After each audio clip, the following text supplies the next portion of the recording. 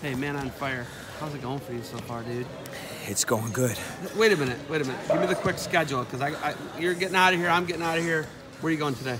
I'm gonna fly to uh, Erie, Pennsylvania today, and uh, catch a ride down to Edinboro. I'm gonna work uh, six days at J. Robinson in uh, Edinboro, and then I'm gonna come back, do a little couple day camp for some friends right out here near near us, just a few hours away, and then I'm gonna get ready to uh, have a two three days off and get ready with the cadets. Uh, Fargo, the cadets. Dude, do you ever take time off?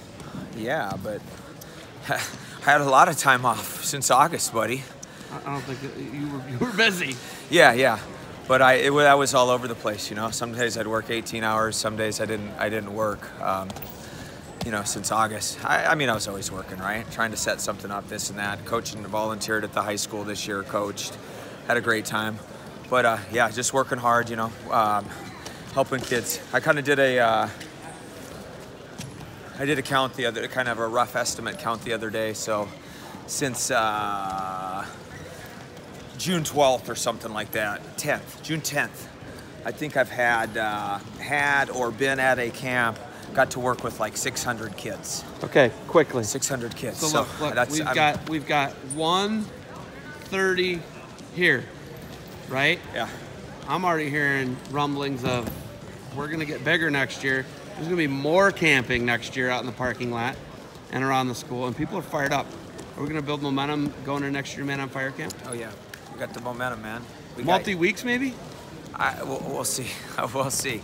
You know, we'll, we'll see. We might have a uh, might have a team camp. Might have the individual camp. We'll just have to see. We'll have to uh, you know check the temperature around and stuff. But yeah, we want to do some stuff. You know, the more kids that we can help, the more kids that we can get excited about wrestling, teaching them very good wrestling, pushing them enough. But really, you know, we want retention. We want the love of this sport. This sport, everybody can get something out of. Some are going to be champions. Some are going to be the highest level champions. You know, I mean, but all of us can get something of it, out of it, like for life. Okay. Well, you're bringing them in here for some more technique. You got anything else for me? Oh man, You got a lot for me. I got. I, we Listen, always hey, we'll, we'll catch I, up. We'll actually catch up. I'll be, I'll be back in Northeast Ohio when you're, like your last day. I might buzz over and say what's up. yeah. What is it? Two hours from Yeah, Cleveland? not even that. Hour and a half. Yeah. Hour and a half from from Sugar. I haven't Falls. been to Niagara Falls yet. Well, might be this might be the time. All right, man. Thank you for being here, and just if the parents are watching, which I'll push the YouTube channel, all that. But if the parents, the coaches are watching, you know, none of this happens without them. The kids, you know, that's why we get to do what we do. I mean, really, that's the, that's, you know,